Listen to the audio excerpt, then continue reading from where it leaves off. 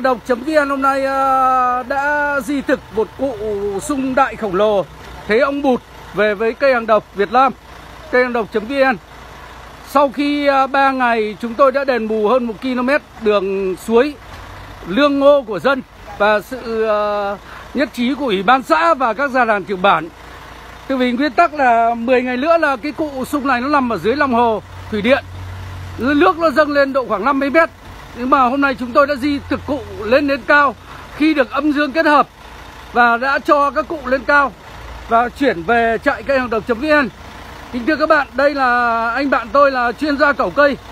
Đây đã dùng cái cẩu này là cẩu ờ, uh, 15 tấn.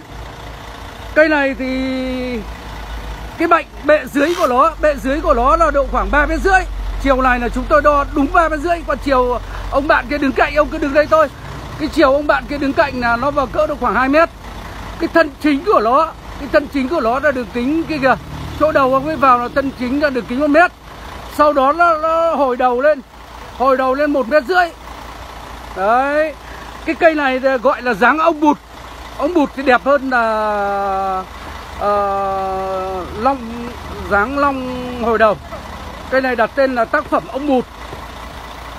Đấy. Tổng thể khi qua chạm cân là nặng à, 7 tấn rưỡi. Tổng cao của nó độ khoảng tính từ mặt đất lên độ khoảng 5 mét. Và lo hồi đầu ra các cái mạch rễ là chúng tôi là đã phun thuốc hết rồi. Và đã dùng cái thuốc truyền dịch. Ngày mai chúng tôi đã dùng thuốc truyền dịch. Ông em này là tay cẩu rất là cực cực cứng. Bởi vì là cẩu trên mặt bằng này thì không quan trọng Nhưng mà cẩu nó lên tả ly là phải cân đối là sao? Cho nó dê nó kích. Rồi lắm chuyện lắm. Đấy lần sau các bạn uh, cần cái, cái cẩu gì các bạn cứ điện cho chúng tôi. Chúng tôi vừa có kỹ thuật đi theo và vừa cái, cái, cái, cái tay cẩu chuyên nghiệp. Quan trọng là cẩu trên tất cả các địa hình đấy mới là tay cẩu chuyên nghiệp. Còn các cái tay cẩu dưới mặt bằng thì cây này cũng là con con zin.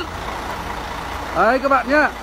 Đây chúng tôi các vết cắt của nó các cái u biếu đây là kỹ thuật là anh thành anh Thành này ờ, chức vụ là chỉ là phó tổng thôi Nhưng mà anh phụ trách về kỹ thuật.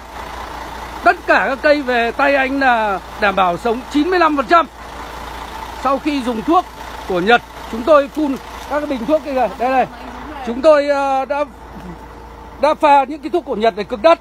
Cái thuốc của Nhật này trên thị trường là bây giờ chúng tôi bán 5 triệu một lít. Nhưng mà đây là thuốc đặc chủng Cho nên là chỉ dùng các cái cây khủng, cây to có giá trị. Tuy là 5 triệu một lít nhưng mà ờ, đắt nó sắt ra miếng 5 triệu thì các bạn mua một lít các bạn có thể trồng được độ khoảng 20 cây to như thế này. Thì tính ra nó là như kiểu mì chính đắt nhưng mà ăn được ít thôi. Chứ không phải 5 triệu là đắt, miễn là mình cứu được cây. Và sau khi chúng tôi phun thuốc hết từ trên ngọn xuống dưới Bắt đầu chúng tôi mới ủ cát với trồng Và ngày mai là bắt đầu túi truyền dịch đã cắm vào cây Túi truyền dịch thì cắm ra cái cây này thì chúng tôi cứ cắm 30 30 vanh một cái mũi, một cái túi truyền dịch, tức là tương đương với độ khoảng 15 vanh. 15 vanh là một cái mũi truyền dịch vào cây, thì đảm bảo sống 100% đây, chúng tôi chống chống chống đẩy vào đây. Đấy, cái chiều thân này vào cỡ độ khoảng 2m3 cái chiều này 2m3 còn cái chiều thân này là đúng đo là 3 mét rưỡi. Chiều này là 3 mét rưỡi. Đấy, chúng tôi đang tháo tháo cáp.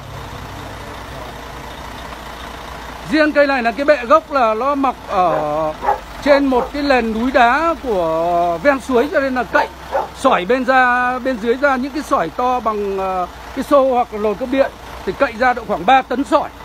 Cho nên cái bệ nó rất là vững chắc. Dễ nó rất nhiều, dễ tơ, dễ lon rất nhiều.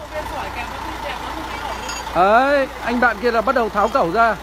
Như dáng ông bụt, như là một hòn non bộ tự nhiên, một quần thể lon bộ tự nhiên. Đã lũa và các cái khối u này là theo theo chiều nước, là cái đá ở dưới dòng suối nó dâng lên, thì nó sẽ lém vào để tạo ra các cái khối u vết sần, vết sẹo này đây.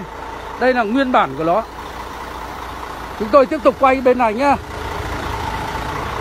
Các cái bệnh vè của nó đây. Các bạn xem mặt bên này của nó nó như là một hình trái núi. Các cái mặt bên này này, mặt này của nó nó như một một một một một trái núi, các bạn thấy đẹp chưa? Đấy, mặt bên này là đi lên. Sau khi phun thuốc rồi Ngày mai chúng tôi sẽ tiến hành chuyển dịch cho cây Và sẽ dâm ủ cụ Và độ khoảng đảm bảo. Sau 15 ngày sau là tôi sẽ quay lại cái video clip này cho các bạn để đảm bảo là ờ, uh, lộc lon lộc lon sẽ lên. Đây. Đấy. trên cái hàng cái đậu. Lộc lon sẽ lên. Đấy bây giờ chúng tôi ờ, phun thuốc vào dưới đít, gốc cây và dưới gốc cây bao giờ là cũng để một đống đất cao hình chóp lón và khi hạ cẩu xuống thì nó sẽ lín đất vào. Chúng ta lúc nào cũng đủ đất ở bên trong. Tránh tình trạng là nó hỏng đất thì dễ lon nó ra, nó không vào đất nữa là cây đấy sẽ yếu. Cho nên các bạn cố gắng vun đất vào gầm của nó, gầm các cái gốc dễ bệnh về tránh trường hợp là nó bị rỗng, là dễ lon nó ra, nó không bám được đất, nó sẽ sụt vào. Như cây bên này cây bên này là chúng tôi là cây um, giáng long hồi đầu đây. Cây này chúng tôi chúng tôi đã đánh được uh, đến hôm nay là 45 ngày và mầm biếc đã lên tu tủa rồi.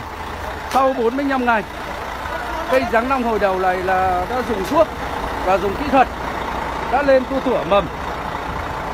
Đây đây là cây giáng long hồi đầu. Các cái mầm của nó lên tu tủa rồi. Đấy sau 45 ngày di thực quả cũng lên và mầm cũng lên tu tủa đây là những cái kỹ thuật mà công nghệ Nhật Bản dùng thuốc của Nhật Bản và dùng túi chữa dịch. Các cái gì mà chúng tôi có bạn là bảo bác Minh ơi khi bác di thực cái cây 7 tấn kia về bác quay lại cho chúng tôi để xem cách đánh như thế nào thì tôi cũng mạo muội là cũng quay lại để cho các bạn biết cũng truyền đạt và à, những cái gì mà các bạn chưa biết thì các bạn truyền đạt cho tôi. Những cái gì tôi biết rồi tôi truyền đạt cho các bạn đấy chúng ta cùng nhau để làm làm sao cho cây nó không chết. Không có là sau này là cây cổ đại là về tay Trung Quốc hết. Chúng ta là người Việt Nam chúng ta những có những kỹ, kỹ thuật học của người Nhật Bản. Và chúng ta làm những cái cây to này nó sống 100% không dựa gì vào mấy ông tàu. Mấy ông tàu là ngày trước là ông ấy sang cách đây 10 năm mình chưa có kỹ thuật. Thì cây to này là chết hẳn. Bây giờ mình có thuốc của công nghệ của Nhật rồi có kỹ thuật rồi.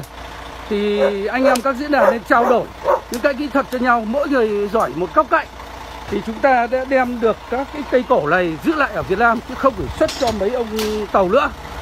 Một lần nữa xin cảm ơn sự theo dõi nhiệt tình của quý vị và các bạn.